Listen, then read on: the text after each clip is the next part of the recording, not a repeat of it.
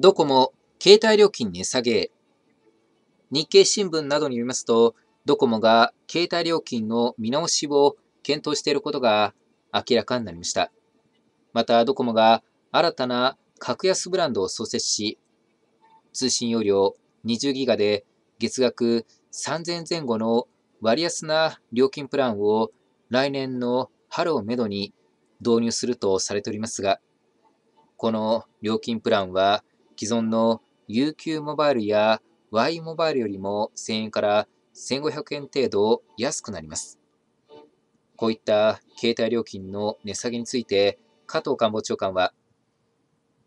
携帯利用者のうち20ギガ以上のプランに加入しているのは4割だ。実際に20ギガ以上使っている方は1割強しかいない。加入プランと使用量のミスマッチがある。国民の皆さんもぜひこの機会に料金プランを確認していただき、料金プランや事業者を見直していただくようにお願いしたいとなっておりまして、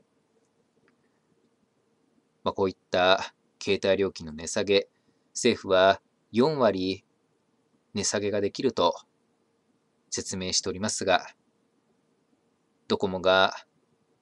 料金を値下げすれば、au やソフトバンクや他の格安ブランドも追従せざるを得なくなります。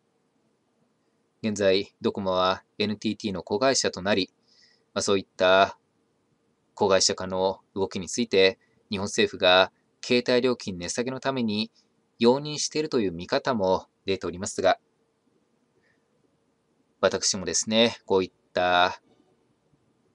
携帯スマホについては、出先でそれほど使えませんので、容量があまり、自宅においても Wi-Fi 無線 LAN に接続しながらスマホを使用し、まあ、なかなかですね、通信容量、まあ、いわゆるギガが使い切れないという状態が続いておりますけども、こういった割安のプランが新たに出てくれば、プランを見直せば、料金が安くなりますし、また、格安ブランドだけではなく、ドコモ本体が値下げをすれば、自動的にですね、料金が下がる方々も出てくるんじゃないかと思われます。ドコモには、まずは、他社に先駆ける形で、ドコモとして速やかに携帯料金の値下げを表明していただき、現状、携帯料金が高すぎて家計に大きな負担となってしまっておりますので、このような状況を速やかに